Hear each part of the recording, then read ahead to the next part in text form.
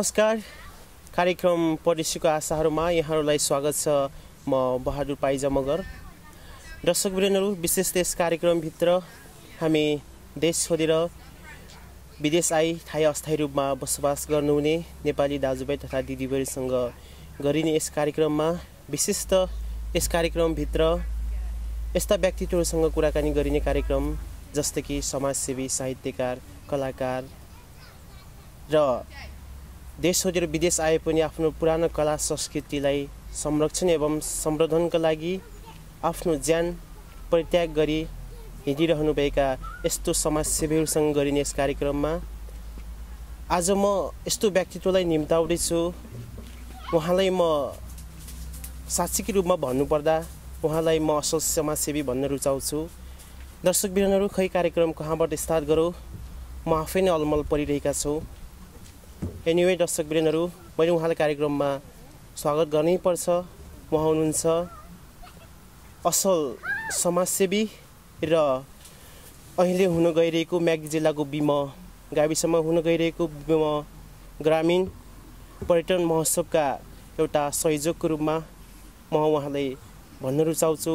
उहाँ हुनुहुन्छ आदरणीय बिम युके समाजका महासचिवज्यू कृष्ण जुगजालीज्यू। नमस्कार। कार्यक्रम पढिसकेका आशामा धन्यवाद। सर्वप्रथम त सन्चै हुनुहुन्छ तपाईँ? सन्चै भन्नु पऱ्यो युकेको लाइफ कस्तो चल्दैछ नि? जेन तेन दुःख सुख ती गाउँ पाखा भनेर ओह्राली उकाली गरेको भन्दा अलिकति भिन्न खालको जीवन। हजुर। यहाँ परदेशमा आएर आफ्नो कथा र व्यथालाई समातिएको एउटा सुख जस्तो पनि लाग्ने र कहीँ कहीँ आफ्नो देश छोडेर आउँदा अत्यन्तै भावुक र अत्यन्तै दुःखदायी हजुर।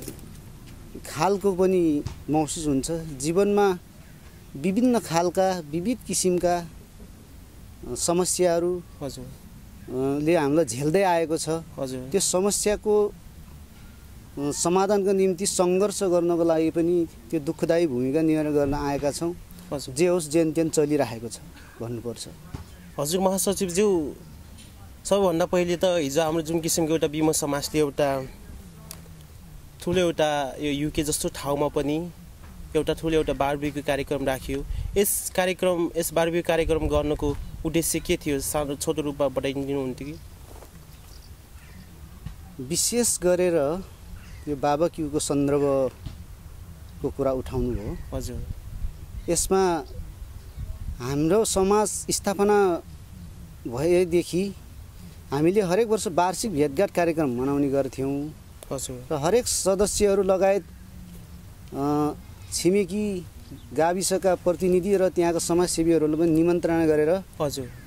हामीले एउटा वार्षिक भेटघाट कार्यक्रम गर्ने कार्यक्रम रहन्थ्यो। तर। अहिले त्यस्तो नभइकन भिन्न किसिमको हजुर। एउटा चौरमा भनौँ अथवा त्यो सी साइड जस्तो लेक साइड जस्तो उसमा एउटा बाबक्यू योजना गऱ्यौँ। त्यसको। मुख्य उद्देश्य भनेको हजुर। अब हुँदै गरेको बिमो महोत्सव हुँदैछ।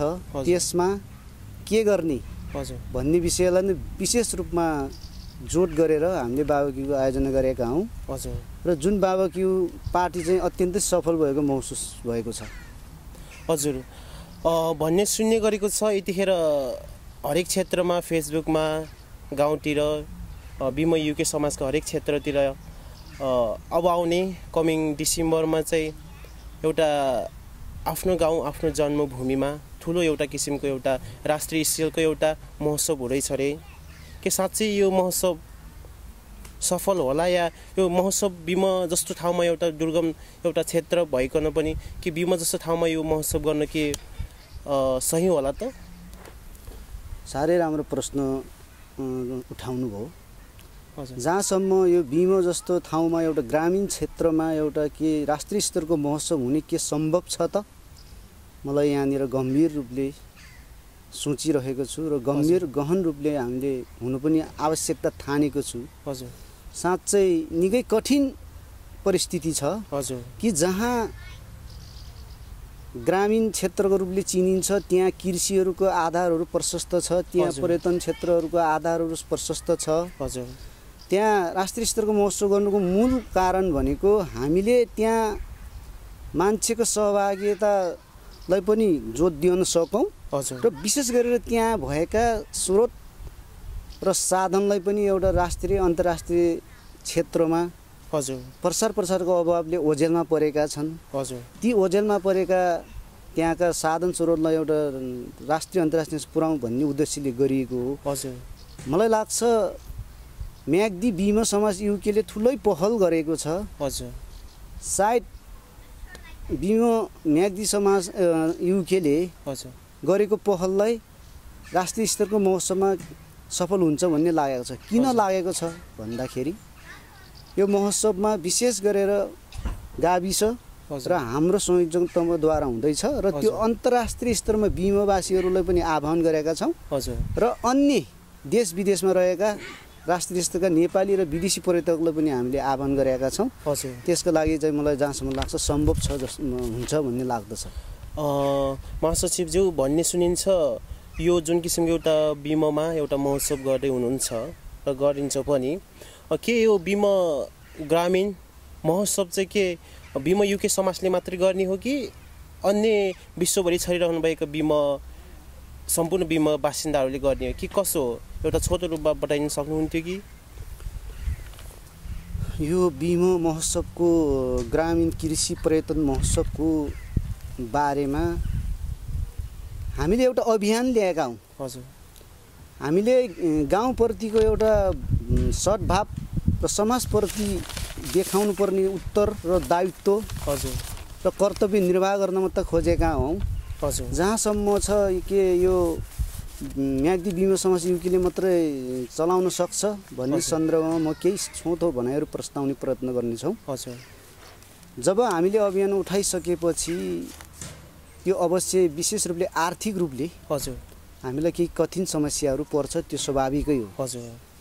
तर जुन आर्थिकको सन्दर्भमा हामीले भन्ने गर्छन् तेरो इच्छा ल तैँले आँट म पुऱ्याइदिन्छु। हजुर। हामी जब जब आँटिराखेका छौँ त्यो हरेक क्षेत्रबाट सकारात्मक सन्देशहरू आइराखेका छन्। हजुर। हरेक देशमा एउटा चाहिँ संयोजकको भूमिका निर्वाह गर्दै आर्थिक सङ्कलन गर्ने कार्यक्रम जारी रहि भइरहेको छ। हजुर। र प्रायोजककै सन्दर्भमा भन्ने हो भने हङकङ मन हङकङका अध्यक्ष दल शेरपुन्जा हजुर।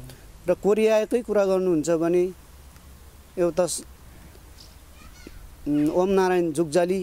हजुर। र युकेकै कुरा त अब हामी बिमा समाजको त हामी हामी नै आयोजक भयौँ। हजुर। यस्ता यस्ताहरूको थुप्रै थुप्रैहरूको प्रायोजकले पनि एउटा हामी उत्साहित छौँ। हजुर।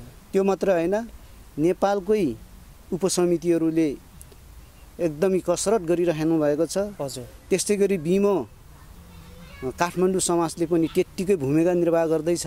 हजुर। जस्तै साउदी कटार अनि दुबई हजुर। उहाँहरूमा जापानतिर पनि उहाँहरूले पनि आफ्नो आफ्नो संयोजकको भूमिका निर्वाह गरिसक्नु भएर उहाँहरू संयोजक खटिसक्नु भएको छ। हजुर। त्यसैले हामीलाई लाग्छ र मलाई लाग्छ र आशा छ यो महोत्सवमा पूर्ण सफल हुन्छ भन्ने मैले आशा लिएको छु र यो सम्भव छ। त्यसो भए बिमको बासिन्दा मात्र नभइकन यस महोत्सवभित्र यस ग्रामीण बिम ग्रामीण पर्यटन महोत्सवभित्र नेपालको पचहत्तरै जिल्लाका बासिन्दाहरू नेपाली जनताहरू उक्त कार्यक्रममा उक्त जुन किसिमको एउटा राष्ट्रिय स्तरको महोत्सव छ त्यो त्यो महोत्सवमा सहभागी हुन सक्लान्? जहाँसम्म यो सहभागी हुन सक्लान् भन्ने प्रश्न छ हजुर। यो प्रश्न धेरै राम्रो छ किनभने सहभागी हुने नहुने एउटा कुरा हो। हजुर। तर हामीले प्रसार प्रसार गर्ने सन्दर्भमा हामी पटक्कै पछाडि पर्ने छैनौँ। हामी यसको प्रसार प्रसार गर्न सक्दो हामी प्रयास गर्नेछौँ। हजुर। र जुन आर्थिक कुराहरूमा पनि हामीले हाम्रो गाउँ विश्वको मात्रलाई मात्र हामीले छाना तताउने प्रयत्नमा हामी छैनौँ। हजुर। हामी हरेक समाजसेवी हरेक स- सद्भाव भावना भएका हरेक चन्दादाताहरू हरेक कार्यालयका प्रमुखहरू हरेक अ, रा- राजनीतिक कर्मीका मित्रहरू। हरेक सङ्घ संस्थाका प्रतिनिधिहरूमा हरेक निकायहरूमा हरेक हरेक सङ्घ संस्थामा हामी चाहिँ लाग्नेछौँ। हजुर। र आशा पनि छ उहाँहरूले पनि केही सहयोग गरिदिनु हुनेछ हजुर। र जहाँसम्म छ यो हामीले यो महोत्सवलाई पूर्ण रूपले हजुर। सफल बनाउने छौँ हजुर। र यो बनाउनका निम्ति हाम्रा उपसमितिका संयोजक बेग गर्पुजा हुनुहुन्छ। उहाँहरूको लगायत थुप्रै सदस्यहरू हुनुहुन्छ। हजुर। र उहाँहरूले पनि यो भूमिका निर्वाह गर्नुहुनेछ। यो मलाई पनि पूर्ण आशा छ र विश्वास छ। हुन त यस यस- यस्तो ठुलो किसिमको एउटा राष्ट्रिय स्तरको महोत्सव एउटा गाउँ जस्तो एउटा म्यागी जस्तो जिल्ला जस्तो ठाउँमा गरिँदैछ। कता कता मलाई डर लागिरहेको छ यतिखेर। के यस्तो ठुलो किसिमको एउटा राष्ट्रिय स्तरको महोत्सव गर्दा आर्थिक सङ्कलन कहाँबाट गर्ने? यतिखेर मलाई पनि भन्न मन लाग्यो। यतिखेर नेपालको एउटा गभर्मेन्टलाई सम्झाउन मन लाग्यो कि नेपाल सरकारले यस्तो किसिमको महोत्सव गर्दा के नेपाल सरकारले हेल्प गर्ने त्यस्ता किसिम के छ प्रोसेस तपाईँसँग? त्यस्तो प्रक्रिया कस्तो किसिमको प्रक्रिया अवलम्बन गर्नुभएको छ? नेपाल सरकारले के उक्त महोत्सवमा के सहयोग गर्ला त? नेपाल सरकारले जहाँसम्म सहयोग गर्ला त भन्ने प्रश्नमा यहाँनिर अलिकति म गम्भीर हुन चाहन्छु। हजुर। हामीले हाम्रो उपसमितिले एउटा प्रपोजल तयार गर्दैछ। हजुर। जुन प्रपोजल तयार त्यसका निम्ति गर्दैछ भने बिमो एउटा यस्तो ठाउँ हो जहाँ कृषिको प्रधान देश हो नेपाल।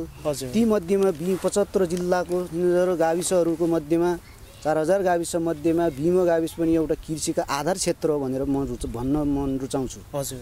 किन रुचाउँछु भन्दा त्यहाँ हामी प्रमाणित भइसकेका छौँ। कि ज्वलन्त उदाहरणको रूपमा भन्नु पऱ्यो भने आज त्यहाँ एनेक्स भन्ने कार्यक्रम सञ्चालन। भइरहेको छ। हजुर। त्यहाँ सायद पचहत्तर जिल्लाको एउटा मन नभनौँ धौलागिरी अञ्चलकै सभामा भन्ने हो भने बिमो एउटा यस्तो हो। हजुर। त्यहाँ धौलागिरीको पनि चारवटा जिल्लामा म्याग्दी म्याग्दीको पनि बिमो गाविसमा जानु एउटा हाम्रो सौभाग्य हो। जानु किन हो त्यसै गएको होइन। एउटा बिमोको एउटा कृषिको एउटा उद्गम थलको रूपमा लान्छौँ। हामी धार्मिक स्थलले पनि मालिका मन्दिर जस्ता हाम्रो प्रसिद्ध मन्दिरहरू छन्। हजुर। त्यसलाई हामीले पर्यटनको एउटा क्षेत्रलाई एउटा आधार निर्माण गर्न सक्यौँ भने त्यसले पनि हामीलाई एउटा राष्ट्रिय अन्तर्राष्ट्रिय क्षेत्रका पर्यटकहरूलाई भित्राउने एउटा प्रयत्न हुनेछ। त्यसैले सरकारी तवरमा चाहिँ जुन कुरा छ त्यो सरकारमा हामीले हाम्रो तर्फबाट हुने प्रपोजल निवेदनहरू हामी गर्न चाहन्छौँ। हरेक मन्त्रालय र हरेक विभागमा हामीले हाम्रो प्रपोजल तेर्साउने छौँ र आशा छ सरकारले पनि यसलाई गम्भीरतापूर्वक ग्रहण गरिदिनु हुनेछ भन्ने मैले दृढ विश्वास गरेका छौँ। तर हामीले कुनै कुरा गर्नु पऱ्यो भने आशा बढी राख्ने प्रयत्न गर्नुपर्छ भन्ने मलाई लाग्दछ। हुन्छ भन्ने पनि लाग्दछ। त्यसो भए तपाईँको विचारमा नेपाल सरकारको आश त गरौँ भर नपरौँ जस्तो भयो नि होइन र? अब हामी कुरो ठिक हो। हामी भर्न पर्ने भन्दामा हामीले आश गर्नु पनि नहुने भन्ने हुँदैन। हजुर। हामीले आश गर्नुपर्छ। हजुर। तर आश गर्दाखेरि विविध कारणले त्यहाँ भर्न पर्ने अवस्था पनि आउन सक्छ। तर त्यो भन्दैमा हामी पछाडि पर्केर यसो गर्दैन यसो मात्रै गर्छ। भनेर हामी पछाडि हट्न थाल्यौँ। हामी त्यो कुरालाई स्वीकार गरेनौँ भने हामी कहिले पनि अगाडि बढ्न सक्दैनौँ। त्यसैले हजुर। हामी चाहिँ आशावादी रहौँ भन्ने। मलाई लाग्दछ। एनिवे महासचिवज्यू यतिखेर हामी अर्कै च्याप्टरतिर लाग्नै पर्छ। हामी बिमा युके समाजले साँच्चीकै रूपमा भन्ने हो भने आफ्नो गाउँलाई आफ्नो जन्मस्थललाई यतिखेर झन्डै चालिसदेखि बयालिस लाखसम्म हामीले चाहिँ शिक्षाको क्षेत्रमा सामाजिक क्षेत्रमा धार्मिक क्षेत्रमा यातायातको क्षेत्रमा हामी लगानी गरिसकेका छौँ। यस्तो कार्यक्रम गर्नु सानोतिनो कुरा होइन र अहिले अब हुँदैछ डिसेम्बर महिनामा हुँदैछ बिमा जस्तो ठाउँमा एउटा ठुलो एउटा राष्ट्रिय स्तरको एउटा महोत्सव हुँदैछ। यस्तो महोत्सवको एउटा सहयोगको नाताले तपाईँले यस्तो समाजसेवा काम कहाँबाट सिक्नुभयो र कोबाट यस्तो प्रेरणा पाउनुभयो? छोटो तपाईँले बढाइन सक्नुहुन्थ्यो कि? साह्रै राम्रो मलाई सोध्दै हुने थियो भन्ने खालको प्रश्न सोधिदिनु भयो त्यसको लागि धेरै धेरै धन्यवाद। हजुर। जहाँसम्म यो प्रेरणाको कुरा छ जब जब म जनप्रिय महावि दरबाङमा अध्ययन गर्दथेँ हजुर। जनप्रिय महाविमा अध्ययन गर्दा जहाँ अहिले मेरो गुरु हुनुहुन्छ वीरबहादुर कार्की। हजुर। उहाँ एउटा हार्मोनियम बजाउने एउटा सङ्गीत क्षेत्रको एउटा हुनहार पनि हुनुहुन्छ। हजुर। म यसै मार्फत उहाँहरूलाई एउटा आदर पनि गर्न चाहन्छु। उहाँ हार्मोनियम बजाउनुहुन्थ्यो। अनि सांस्कृतिक कार्यक्रम सञ्चालन गर्नुहुन्थ्यो। अनि त्यहाँबाट आएको रकमहरू उठे अनि। उठिसकेपछि त्यो दर जनप्रिय महावि दरबाङमा पैसा सङ्कलन गरेर त्यहाँ विविध किसिमको हजुर। उमा खर्च गर्ने परम्परा मैले भेटाएँ। र म उहाँले हार्मोनियम बजाउँदा म पछाडिबाट उभिरहनुहुन्थ्यो। जर उहाँले भन्नुहुन्थ्यो मलाई कहिलेकाहीँ तँलाई पनि हार्मोनियम बजाउने मन छ र ल बजा छुई। भन्नुहुन्थ्यो मलाई डर लाग्थ्यो अचम्म। लाग्थ्यो। हजुर। अनि गर्दा गर्दा म आफै ए, क्लासिकल र एउटा शास्त्रीय उमान्न बजाउने भए पनि सामान्य रुचिको रूपमा हार्मोनियम बजाउने मान्छे भएर पनि होला। हजुर। त्यो हाम्रो बिमो गाविसको वडा नम्बर पाँच छ सातको उपल्लो बिमोमा हजुर। एउटा अहिले त्यसलाई किसानी क्लब भनिन्थ्यो। हजुर। तर अहिले त्यसलाई परिवर्तन भएर हिमाली क्लब भएको छ। हजुर। त्यहाँनिर मैले मुख्य भूमिका निर्वाह गर्न के खोजेँ भन्दा एउटा सांस्कृतिक कार्यक्रममा बडो जोड दिएँ। हजुर। दिँदै दिँदै जाँदा एउटा हार्मोनियमको व्यवस्था पनि गऱ्यो त्यहाँबाट आएको रकमले क्लब सञ्चालन गर्दै त्यहाँको समाजसेवाहरूको काम गर्दै आउँदै आउँदै गर्दा मलाई यस्तो किसिमको प्रेरणा मिल्यो। हजुर। प्रेरणा मिल्दै मिल्दै जाँदाखेरि एउटा राजनीतिक सन्दर्भ सुरु भए। हजुर। होइन नेपालको सामाजिक क्षेत्रको ऊ भयो आर्थिक कुराहरू भए। गर्दा गर्दै जब जब त्यो किसानी श्री किसानी निम्न माध्यमिक विद्यालयलाई मावि बनाउने सवाल उठ्यो। हजुर। त्यो मावि बनाउने सवालमा विद्यालयको व्यवस्थापन समितिका अध्यक्ष नरत्न प्रसाद पनि हुनुहुन्थ्यो। हजुर। उहाँले मावि बनाउनुपर्छ र हरेक क्षेत्रमा भैलो खेल्न जानुपर्छ भनेर भन्दा हजुर। किसानी क्लबको प्रतिनिधित्व गरेर मलाई पठाउनु भयो र एउटा गङ्गा शेरपुन्जा हुनुहुन्छ उहाँ किसानी निम्न माध्यमिकको शिक्षक हुनुहुन्थ्यो अहिले उहाँ। जर्मन हुनुहुन्छ। हजुर। दुईवटाको नेतृत्वमा हामी मलगबाङ कुइनी हुँदै भैलो खेल्न गयौँ। त्यसबाट आएको प्रेरणा त्यहाँबाट उठेको रकमले श्री किसानी निम्न माध्यमिक माध्यमिक विद्यालय भयो। त्यस कारणदेखि मलाई समाजसेवामा गर्ने प्रेरणा सुरु भएको हो। त्यसो भए भनिन्छ साँच्चीकै रूपमा thousands mile start from the first step भन्छ। साँच्चीकै मलाई पनि थाहा भयो कि कुनै पनि उद्देश्य कुनै पनि उद्देश्य लिएर कुनै पनि एउटा कामको लागि एउटा त्यसो भए एक स्टेपबाट नै चाल्नु पर्दो रहेछ होइन? तपाईँको भनाइअनुसार हुन त आफ्ना आफ्ना हो जस्तो लाग्छ मलाई तर आफ्ना आफ्ना विचार होला धारा फरक होला लक्ष्य। जाने बाटोहरू फरक होलान् घुम्ती होलान् ओकालो होलान् ओह्राली होलान् सिधा होलान् त्यो आफ्नो ठाउँ छ विचारधाराहरू फरक हुन सक्छन् तर एउटा लक्ष्य हरेक क्षेत्रबाट गए पनि त्यो लक्ष्य चाहिँ पुग्नु पर्ने गन्तव्य चाहिँ एउटै हो भन्ने मलाई लाग्दछ। हजुर। त्यसकारण मेरो प्रेरणा त्यसरी भयो। त्यसो हुँदै हुँदै गर्दाखेरि नेपालको राजनीतिक क्षेत्रमा म एउटा मगरको छोरा। हजुर। मलाई पनि राजनीतिक विचारधाराहरू रुचि लागे। हजुर। र म चाहिँ राजनीतिक क्षेत्रमा पनि अलिकति होमिएँ हजुर। होमिँदा होमिँदा म सामाजिक क्षेत्रमा म होमिएँ हजुर। गर्दा गर्दा म जिल्ला स्तरीयका पनि सामान्य चाहिँ सामाजिक क्षेत्रमा काम गर्ने ऊ बन्यौँ। हजुर। केन्द्रमा प्रभाव पर्दै गयो। हजुर। त्यसो गर्दै गर्दा गर्दा मेरो प्रेरणा मिलेको हो भन्ने। मलाई लाग्दछ। अनि त्यो त्यो प्रेरणा चाहिँ मलाई एउटा सन्तुष्टि मिलेको जस्तो अनुभव हुन्छ। रूपमा महासचिवज्यू तपाईँले जुन किसिमको एउटा युके जस्तो ठाउँमा बसेर पनि एउटा यस्तो बिजी ठाउँमा बसेर पनि एउटा जुन किसिमको एउटा समाज जस्तो काम गर्नुभएको छ यतिखेर तपाईँकै एउटा सहयोगमा विम युके समाजको सहयोगमा यतिखेर खान गाउँमा खान नपाएकोले लाउन खान पाएका छन् लाउन नपाएकोले लाउन पाएका छन्। तपाईँलाई यस्तो हुँदा कस्तो महसुस हुन्छ नि? तपाईँलाई हुन्छ नि एउटा भगवान् जस्तो कसै कसैले नठाने पनि कसैले तपाईँलाई एउटा भगवान्को रूपमा ठान्नुहुन्छ। तपाईँलाई कस्तो महसुस हुन्छ यस्तो समाजसेवा काम गर्दा? समाज सेवा काम गर्दा मलाई अत्यन्तै सन्तुष्टि मिल्छ। हजुर। तर जहाँसम्म तपाईँको प्रश्न छ यो खान नपाउने लाउन नपाउनेहरूको बिचमा एउटा समाज सेवा गरेर केही भावनाहरू तेर्साएर उनीहरूको आत्मामा एउटा भगवान्को रूप दिने हजुर। भन्ने जुन भनाइ छ यो अत्यन्तै सान्दर्भिक छ। हजुर। किनकि जब जब सामाजिक क्षेत्रमा काम गऱ्यो भने आफूलाई भन् परेको व्यथाभन्दा अरूलाई परेको व्यथा त्यो बोर्ता मनभित्र गुल गुल्टिएर आउँछ। हजुर। त्यसले मुटुको धड्कनहरूलाई चिरा चिरा पारेर आउँछन्। हजुर। त्यसका निम्ति समाज क्षेत्रमा काम गर्दा एउटा सन्तुष्टि मिल्ने हो। त्यो सन्तुष्टि प्राप्त गर्नका लागि हजुर। समाज क्षेत्रमा हरेक किसिमका विचारधारा भएका मान्छे हुन्छन्। हजुर। कोही सकारात्मक विचारधारा बोकेर आएका हुन्छन्। कोही नकारात्मक विचारधारा बोकेर आएका हुन्छन्। विभिन्न खाले विचारहरू बोकेर आएका हुन्छन्। तर मलाई लाग्छ हामीले जस्तो सुकै भए पनि त्यसलाई पहिला सबैभन्दा पहिला त्यो ठिक छ कि बेठिक छ भनेर अनुसन्धान गर्ने। हजुर। अनि त्यसलाई अलिकति चाहिँ अनुगमन गर्ने। हजुर। अनि त्यसको चाहिँ वास्तविक यथार्थहरू के हो त? सत्य र तथ्यलाई बुझेर त्यो समाजसेवामा गरेको उसलाई चाहिँ विश्लेषण गर्दा राम्रो हुन्छ भन्ने मलाई लाग्दछ।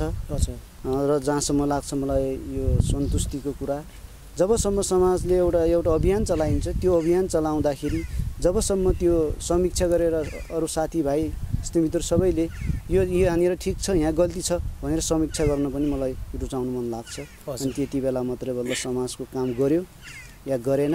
भनेर महसुस हुने गर्छ हो साँच्चीकै रूपमा एउटा मान्छे भइसकेपछि एउटा सामाजिक प्राणी भइसकेपछि समाजसेवा काम त गर्ने हो।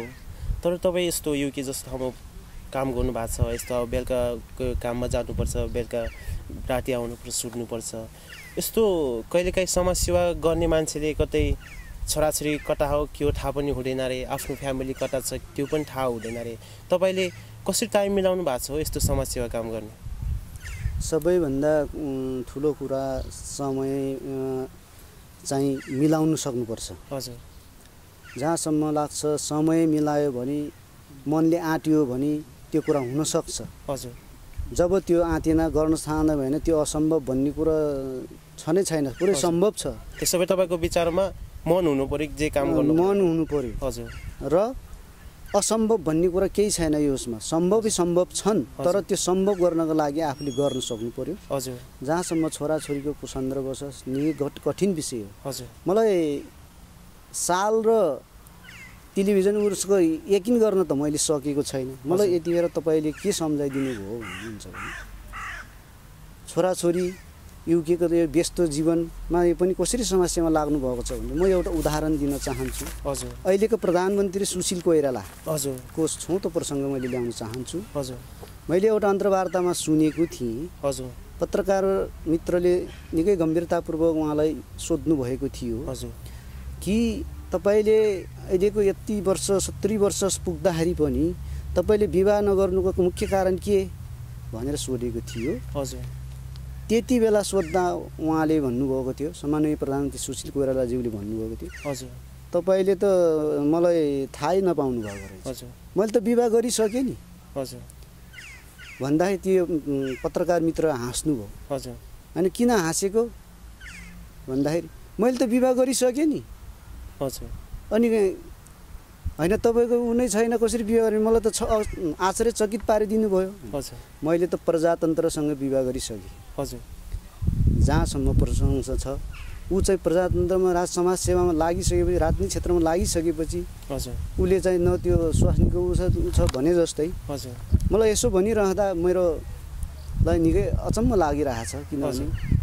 हामी त्यति पेसेवर रूपमा चाहिँ हामी गएका छैनौँ अझै। हजुर। छोराछोरीको उसलाई चाहिँ समयलाई श्रीमतीहरूको। आफ्नो समय दिएर। त्यो समयबाट छुट्टीको बाँकी समयलाई सदुपयोग गरेर कामको समय ड्युटी खटेर आएर बरु थोरै सुतेर अथवा के गर्न सकिन्छ? त्यता कारणले गर्दा यस पनि मैले समाजसेवाको बारेमा केही धेर थोर काम गर्न सकेको मलाई महसुस भएको छ। मलाई साँच्चीकै रूपमा अहिले सोध्न मन लाग्यो। म त एउटा असल समाजसेवी भन्ने चिन्थेँ तपाईँ राजनीतिक कर्मी पनि हो क्या हो? होइन म राजनीतिक कर्मी भन्नुभन्दा पनि समाजसेवा गर्ने राष्ट्रको अँ, राजनीतिक बिना अगाडि बढ्न सकिँदैन। राजनीतिक अन्तर्वार्ताहरू पनि मैले सुन्ने गर्छु। हजुर। समाजसेवीहरूको पनि भावना पनि राख्ने गर्छु। वास्तवमा राजनीतिक नेता गऱ्यो भन्दैमा समाजसेवाको कुरा मात्रै गर्ने त्यो बुझेन भने राष्ट्रको हितको निम्ति राष्ट्रियताको सवालमा बोलेन भने हजुर। त्यो समाजसेवीको कुनै अर्थ हुन्न भन्ने। हिसाबले हो। त्यो तपाईँको सोचाइ त्यो होला त्यसरी पनि नबुझिदिनु होला मेरो। अनुरोध छ। हस् त महासचिवज्यू तपाईँलाई धेरै धेरै धन्यवाद। तपाईँ जस्तो गेस्ट पाउनु भनेको मेरो एउटा सौभाग्य एउटा भाग्यमानी हो। तपाईँले यतिखेर तपाईँले भन्नैपर्छ बिमा जस्तो ठाउँमा एउटा ग्रामीण पर्यटक महोत्सव हामीले राष्ट्रिय स्तरको महोत्सव सञ्चालन गर्न खोजेका छौँ। यो स्तरका लागि केही छुटेका केही कुराहरू थियो कि बताइन सक्नुहुन्थ्यो कि केही छोटकरीमा? खासै मलाई छुटे जस्तो त लाग्दैन तर पनि मलाई यो कृषि पर्यटन महोत्सवको बारेमा हजुर। छोटो आफ्नो परिचय दिन मन लागेको छ। हजुर। ग्रामीण भनेको यो एकदमै गाउँ हो हजुर। जहाँ हिड्डुल समस्या छ तर अहिले एउटा गौरवको कुरा गर्नुपर्छ। हजुर। यस्तो गाविस हो त्यो गाविस जहाँ कि अहिले नौवै वडामा चाहिँ यातायातको सुविधा पुगेको छ। हजुर। र केही वडा बाहेक विद्युत पनि पुगेको छ। हजुर। र त्यहाँ आउने महोत्सवमा सहभागी हुने चाहे त्यो कलाकार होस् चाहे त्यो। खेलाडी होस् चाहे चाहिँ राजनीतिकर्मी होस् चाहे। समाजसेवी होस् हरेक क्षेत्रका प्रतिनिधिहरू हजुर। खुट्टाले हिँडेर जानु पर्दैन। हजुर। त्यहाँ गाडीबाटै जानु सकिन्छ। हजुर। त्यसै कारणले गर्दा त्यहाँका विभिन्न उत्पादित सामग्रीहरू। त्यहाँ चाहिँ बेचबिखन हुनेछ। कृषि मेला पनि त्यहाँ प्रदर्शन हुनेछ। पर्यटनको टुरिज्म क्षेत्रलाई पनि कसरी प्रवर्धन गर्ने र त्यसलाई चाहिँ कसरी विस्तार गर्ने भन्ने कुरा पनि छ। त्यस कारणले गर्दा हरेक क्षेत्रबाट र राष्ट्रिय अन्तर्राष्ट्रिय र विदेशमा भएका सबै सबै मित्रहरूलाई पनि त्यो महोत्सवमा पालिदिनको लागि म यसै परदेशीका आशाहरू नामक यो टेलिभिजन हजुर का तर्फबाट युनिटको तर्फलाई म धेरै धेरै धन्यवाद दिन चाहन्छु। हजुर। र आज मलाई यस परदेशीका आशाहरूको कार्यक्रममा हजुर। निम्ताएर मलाई एकदम आफ्नो बिमो महोत्सवको बारेमा जानकारी गराउने अवसर दिनुभयो। हजुर। यसको लागि पनि म धेरै धेरै धन्यवाद दिन चाहन्छु। हस् त धन्यवाद। तपाईँको यो अमूल्य समय पनि युकेको यो अमूल्य समय पनि हाम्रो लागि छुट्याइदिनु भयो। तपाईँ जस्तो व्यक्ति पाउँदा मलाई एकदम हर्षी लागेको छ। फेरि पनि म तपाईँलाई नमस्कार गर्न पाउँदा झन् खुसी लागेको छ। एकछिन नमस्कार नमस्कार। टक्राउन चाहन्छु। र जाँदा जाँदै अ, मैले सम्झनै पर्छ प्राविधिक मित्र मन्दिपी जुग्जाली पूर्ण जुग्जाली र मन्दिप जुग्जालीलाई मैले सम्झनै पर्छ र दर्शकवृन्दहरू आज यस कार्यक्रमलाई विशेष त हामी यस कार्यक्रमभित्र यस्ता समाजसेवीहरूसँग गरिने कार्यक्रममा आज म यस्तो समाजसेवीसँग कुरा गरेँ। दर्शकले थाहा नै छ म्याग्दी जिल्लाको यो भीम गाविसमा जुन डिसेम्बर कमिङ डिसेम्बर महिनामा हुन गइरहेको यो ग्रामीण कृषि पर्यटन महोत्सवमा तपाईँहरू पनि सहभागी भइदिन। अनुरोध गर्दै म पनि यस कार्यक्रमबाट बिदा हुन चाहन्छु किनकि समय भन्ने कुरा भन्ने गरिन्छ बगेको खोला फर्केर आउँदैन बग गएको समय फर्केर आउँदैन भन्छन्। त्यसैले म यस कार्यक्रमबाट बिदा हुनैपर्छ। हस्त धन्यवाद। बिदा हुन चाहन्छु। हस्त धन्यवाद।